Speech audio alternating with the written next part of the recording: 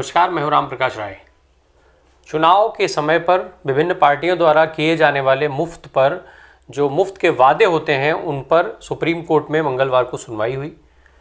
इस सुनवाई में कई पक्षों से अलग अलग बातें निकल करके आईं। सुनवाई के दौरान जो याचिकाकर्ता के वकील विकास सिंह ने कहा कि मुफ़्त के वादों के चलते देश दिवालिया होने की स्थिति में है। इस पर सीजेआई रमना ने कहा कि मान लीजिए कि मैं चुनाव जीतने पर लोगों को सिंगापुर भेज दूँगा, इस तरीके का वादा करता हूँ तो इस पर चुनाव आयोग कैसे रोक लगा सकता है? साथ ही सीजीआई ने यह भी कहा कि हमने ये जो मुद्दा है, वो समाज और अर्थव्यवस्था की भलाई के लिए उठाया है। साथ ही कोर्ट ने यह भी कह दिया कि सभी पार्टियाँ, भले ही वो भाजपा हो या फिर कोई और, मुफ़्त के जो वादे हैं, जो मुफ़्त की घोषणाएँ हैं, उनके, सभी पार्टियाँ उसके पक्ष में हैं। फ़िलहाल इस पर अब कल बुधवार को सुनवाई होगी। अब जो ये पूरी सुनवाई हुई इस मामले में आ, कई तरीके की बहसबाजी हुई। वकील अलग अलग वकीलों की राय भी आई। सीजेआई ने इस मामले में कपिल सिब्बल को भी सुना। कपिल सिब्बल ने इस बात उठाई कि ये जो मामला है, इसको वित्त आयोग पर छोड़ दिया जाए और वित्त आयोग को ये अधिकार हो कि वो अपने जो राज्य के बजट हैं, उन राज्यों के बजट में कटौती बजट में कटौती कर सकता हो। इस पर सी सीजीआई रमना ने कहा कि आखिर ये कैसे तय होगा कि कौन सी चीज़ें जो है वो चुनाव जीतने के लिए मुफ़्त की घोषणाएँ की गई हैं। मान लीजिए कोई राज्य है, कोई भी दल ऐसे स्कीमों को अनाउंस करता है कि उससे आम आदमी को लाभ होगा। फिर ये कैसे डिसाइड होगा कि कौन सी जो घोषणाएँ हैं, वो केवल मुफ़्त के, केवल चुनाव जीतने के दृष्टिकोण से वादे किए गए हैं या किसी भी तरीके के जो स्कीम्स हैं, उसका प्रभाव राज्यों पर पड़ता है। जो ये तमाम दलीलें दी गई, याचिकाकर्ता के वकील ने ये बात रखी कि जो जो इस तरीके के वादे किए जाते हैं, उसका असर बजट पर पड़ता है, आर्थिक स्थिति पर पड़ता है। साथ ही साथ जो उन जिन जो मुफ़्त की योजनाएँ दी जाती हैं, उसका पूरा पूरा जो खर्च होता है वो टैक्स पेयर के पैसे से खर्च होता है और ये टैक्स पेयर पर ही उसका बोझ भी पड़ता है, जो राज्यों की अर्थव्यवस्था को से लेकर के और देश की अर्थव्यवस्था को प्रभावित करता है।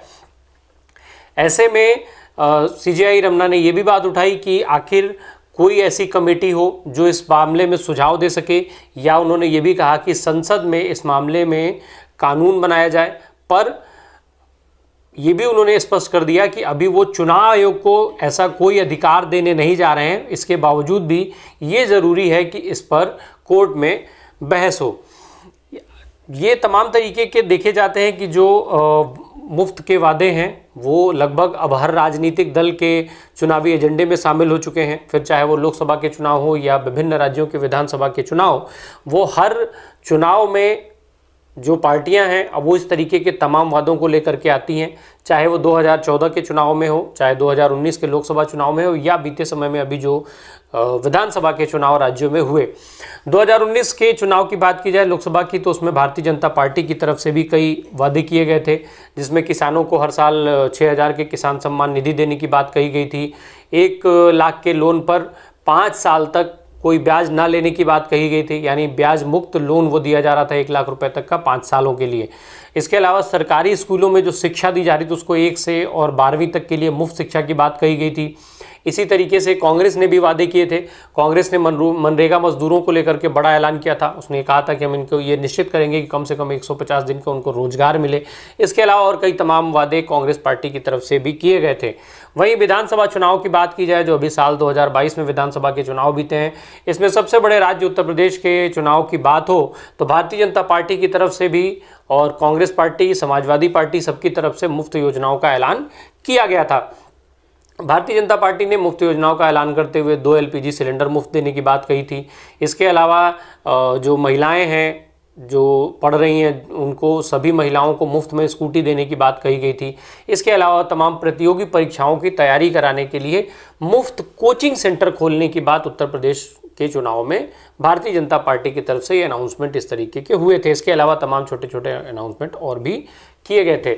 समाजवादी पार्टी की बात की जाए तो समाजवादी पार्टी ने उस समय अनाउंस किया था कि अगर वो चुनाव जीतते हैं तो ऐसे में टू व्हीलर जो चलाने वाले लोग हैं, उनको एक लीटर डीजल पेट्रोल प्रति माह मुफ़्त में दिया जाएगा। वहीं जो ऑटो ड्राइवर्स हैं, जो ऑटो चलाते हैं, उनके लिए तीन लीटर डीजल पेट्रोल मुफ़्त की व्यवस्था हर महीने करने की बात कही गई थी। ये वादा उस चुनाव में किया गया था। इसके अलावा किसानों को भी टारगेट किया गया था मुफ़्त के वादे में। मुफ़्त के वादे में किसानों के लिए एक बोरी यूरिया देने की बात कही गई थी। इसके अलावा समाजवादी पेंशन की बात हुई थी कि डेढ़ हज़ार रुपये प्रतिमाह हम समाजी, समाजवादी पेंशन के रूप में देने की बात समाजवादी पार्टी की तरफ़ से उस समय कही गई थी। कांग्रेस ने भी मुफ़्त की कई योजनाओं का ऐलान किया था। लड़की हूँ, लड़ सकती हूँ का नारा देते हुए कांग्रेस ने महिलाओं को टारगेट देने की बात कही, टारगेट किया था। तमाम महिला उम्मीदवार को उन्होंने परसेंट के, परसेंटेज के हिसाब से चुनाव मैदान में उतारा था। इसके अलावा जो उन्होंने घोषणाएँ की थी मुफ़्त की, उसको लेकर के कि कोरोना के, कोरोना से जो परिवार प्रभावित हुए थे, उनको पच्चीस हज़ार देने की बात कही गई थी। जो तमाम ग्रेजुएट लड़कियाँ हैं उनके लिए मुफ़्त स्कूटी की व्यवस्था की गई थी मुफ़्त स्कूटी देने की बात कही गई थी। इसके अलावा गरीब महिलाओं को फ्री इंटरनेट जैसी सुविधा देने की बात कांग्रेस ने अपने घोषणा पत्र में बीते विधानसभा चुनाव 2022 में किए थे। इसके अलावा जो तमाम राज्यों के अलग अलग चुनाव हों चाहे वो मध्य प्रदेश हो राजस्थान हो छत्तीसगढ़ हो असम हो कहीं के भी चुनाव को उठा करके जब आप देखेंगे जो घोषणा पत्र देखेंगे उन सभी चुनाव में मुफ़्त की तमाम योजनाओं की, घोषणा सभी दलों की तरफ़ से की गई थी। अब ये जब मामला सुप्रीम कोर्ट में पहुँच चुका है फ्री जो स्कीम्स हैं, उनका मामला सुप्रीम कोर्ट में उठाया गया है कि इससे अर्थव्यवस्था प्रभावित होती है। तो ऐसे में सुप्रीम कोर्ट ने इसको आम आदमी की भलाई और अर्थव्यवस्था की भलाई के मद्देनज़र इस पर सुप्रीम कोर्ट सुनवाई कह रहा है, सुनवाई कर रहा है, जैसा खुद सीजेआई ने अपनी बात सीजेआई ने कही है ये बात। साथ ही साथ सीजेआई ने कई सारी मुद्दे और भी उठा दिए। उन्होंने ये भी कहा कि भाई इसमें इलेक्शन कमीशन किस तरीके से जिम्मेदार हो सकता है, कैसे इलेक्शन कमीशन इस पर रोक लगा सकता है। इसके अलावा उन्होंने कमेटियों की बात कर दी कि क्या ऐसी कमेटियाँ हैं या हो सकती हैं जो इस मामले में सुझाव दें कि आखिर कैसे तय हो कि कौन सी स्कीम्स केवल चुनावी वादे को, चुनाव जीतने के दृष्टिकोण से की जा रही है। क्योंकि जो याचिकाकर्ता हैं, उनके वकील ने ये बात कही थी कि तमाम राज्यों में चुनाव जीतने के लिए अलग अलग तरीके की स्कीम लाया जाता है। इसके अलावा सॉलिसिटर जनरल जो तुषार मेहता, उन्होंने ये बात उठाई थी कि कई जगह पे साड़ियाँ बांटी जाती हैं, कई जगह पे टीवी और ऐसे आइटम्स बांटे जाते हैं। तो क्या जो मतदाता है, उसे ये जानने का अधिकार नहीं है, उन तक ये जानकारी नहीं पहुँचनी चाहिए कि ये जो इस तरीके के वादे किए जाते हैं चुनाव को जीतने के लिए तो वो फिर पूरा करने के लिए उसका असर राज्य के बजट पर ही पड़ता है, फिर देश की आर्थिक स्थिति पर इसमें अंतर आता है और टैक्स पेयर के पैसे से ही इन स्कीम्स को पूरा किया जाता है।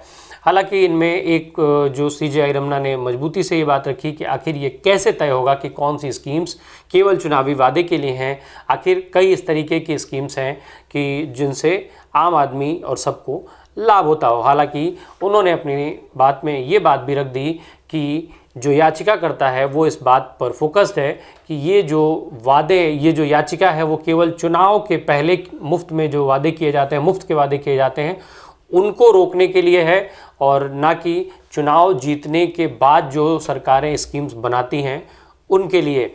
अब इस मामले में कल सुनवाई होनी है। देखना होगा कि इस मामले में सुप्रीम कोर्ट की तरफ़ से क्या अपडेट आता है। अपडेट आने में हम फिर आपके सामने उपस्थित होंगे। धन्यवाद।